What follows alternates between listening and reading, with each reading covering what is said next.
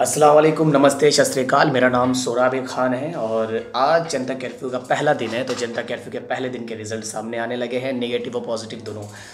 Positive में जो इस जनता कर्फ्यू के खिलाफ थे, कुछ उनको भी समझ आने लगा है तो वो इसको सपोर्ट कर रहे हैं और कुछ अभी भी ऐसे मूर्ख हैं जो इसको एक छुट्टी समझ कर और सिर्फ़ रोड खाली करने का समझ कर ये अपने अपने एरियो में, अपने अपने मोहल्लों में भीड़ को अभी भी इकट्ठा करे हुए हैं, एक दूसरे के घर पे जा रहे हैं। तो मेरे भाई हूँ, आप लोग अपने घर पे बैठे हैं। इसका मतलब ये नहीं है अगर कर्फ्यू लगाया गया है तो ये आपसे एक अपील करी गई है कि आप अपना प्रोटेक्शन खुद कर सकते हैं, क्योंकि इसका इलाज अभी नहीं है। इसका सिर्फ़ एक इलाज यही है कि आप सोशल डिस्टेंस को मेंटेन करके चलें। ना कि आप जो गैदरिंग इकट्ठा करें अपने एरियो में, उनको थोड़ा सा कम करें। आप अपने अपने घर पे बैठें। थोड़े दिन की बात है, जो, जब, जो भी ये वायरस है, जब ख़त्म हो जाए फिर से मिलें। वैसे तो कोई जल्दी किसी से नहीं मिलता, लेकिन आज सबको एक दूसरे की बहुत फ़िक्र हो रही है, लोग छुट्टियाँ मना रहे हैं। अभी भी लोग सड़कों पे घूम रहे हैं और पुलिस बार बार उनको वार्न कर रही है उनकी हिफाजत के लिए बट उनको समझ में नहीं आ रहा है जब तक दो चार डंडे पुलिस के नहीं पड़ेंगे। तो जो लोग अभी इसका कुछ रूमर्स फैला रहे हैं कि आज एनआरसी के खिलाफ सबसे इंपॉर्टेंट चीज़ जिस मैसेज को, इस वीडियो को बनाने की जो है, और अगर आपको पसंद आए, आपको कुछ समझ में आए तो उसका शेयर ज़रूर कीजिएगा किसी की हेल्प के लिए। लोग जो अभी रूमर्स फैला रहे हैं कि आज एनआरसी के ऊपर फैसला आने वाला है या आज कोई भी बड़ा फैसला होने वाला है जो पब्लिक को गुमराह किया जा रहा है मेरे भाई, ये ग्लोबली हुआ है, जो कुछ भी हुआ है, इटली को भी ट्वेंटी फैब को यही घमंड था कि उन्हें कुछ नहीं होगा। आज इटली की हालत क्या है, ये किसी को बताने की ज़रूरत नहीं है। और हाईली एडवांस डेवलप्ड जो कंट्रीज़ हैं, इटली, फ्रांस, जर्मनी, वो इसके साथ इसको टैकल नहीं कर पा रहे हैं। वहाँ के डॉक्टर्स इसको इसको टैकल नहीं कर पा रहे हैं। और यहाँ पे, जहाँ पे हमारी तैयारी इंडिया में कितनी है, ये आप अच्छी तरह से जानते हैं। पॉपुलेशन के मामले में हम दूसरे नंबर पे हैं गंद फैलाने के मामले में एक नंबर पे हैं और तैयारी के मामले में हम ज़ीरो पे हैं। यहाँ पे ना तो इतने हॉस्पिटल्स हैं, ना तो इतनी फैसिलिटीज़ हैं। बस एक इसका एक ही यही इलाज है कि हम इसकी सुरक्षा, अपनी सुरक्षा ऐसे ही कर सकते हैं, जो हमें आदेश दिए गए हैं। साथ में जो कुछ लोग हैं, जो मोदी भक्त हैं, कुछ भोग हैं जो मोदी विरोधी हैं।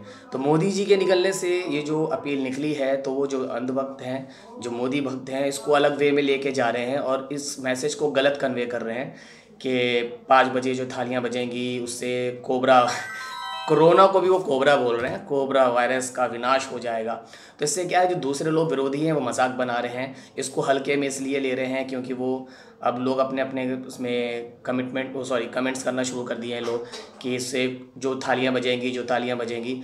तो ये थालियाँ और ये जो तालियाँ या जो भी किसी भी तरह का साउंड क्रिएट किया जाएगा, वो सिर्फ़ इसलिए है कि जहाँ आप लोग, सब लोग अपनी हिफाजत के लिए, अपने घरों में आपको पैक कराया गया है, आपको रहने के लिए बोला गया, वहाँ पे दो कम्युनिटीज़ ऐसी हैं। दो सेक्टर ऐसे हैं जो दिन, रात, चौबीस घंटा बिना अपनी जान की परवाह करे, वो भी किसी की औलाद हैं, उनकी भी औलादें हैं, वो आपकी सेवा के लिए बैठे हैं डॉक्टर्स और पुलिस फोर्स तो इनको आपको सपोर्ट करें, अगर आप उनके काम नहीं आ सकते तो उनके लिए काम मत बढ़ाएँ। कि उनकी जो भी, वो भी अपनी जान को खतरे में रख के आपका इलाज करने की कोशिश कर रहे हैं। और ये वायरस ख़तरनाक इसलिए है कि इसका इलाज नहीं है इसलिए।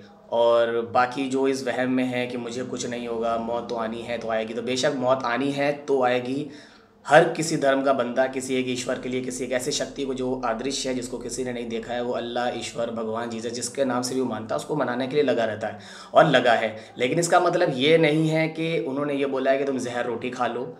साइनाइड चावल खा लो, घर पे सीढ़ियाँ हैं, सीढ़ियों से मत उतरो, सीधे छत से कूदो, नीचे उतर आओगे इसका ये मतलब तो नहीं है।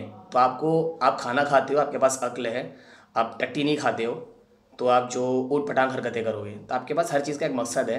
इसका मतलब ये नहीं कि आप ट्रेन के अंदर सफ़र नहीं करोगे, ट्रेन की ट्रैक, रेलवे ट्रैक पर चलना शुरू करोगे, ट्रेन के आगे चलोगे।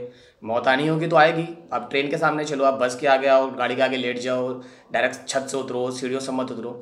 तो अक्ल भी आपके पास है मौत आनी है तो आएगी, लेकिन अगर जानबूझ के लानी है आपको तो आप उसकी कोशिश क्यों कर रहे हैं?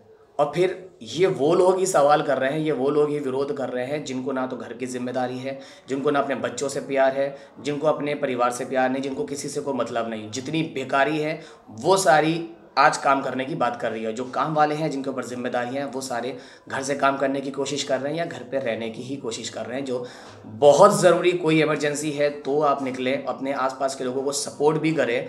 अगर उनको किसी चीज़ की ज़रूरत है और आपको लगता है कि आप उनकी नीड को फुलफ़िल कर सकते हो तो ज़रूर करें एक दूसरे के काम आए। ये वो समय है जहाँ पर हम एक दूसरे को सपोर्ट करके इस चीज़ का खात्मा कर सकते हैं, क्योंकि अपने पास तैयारियाँ थोड़ी कम हैं।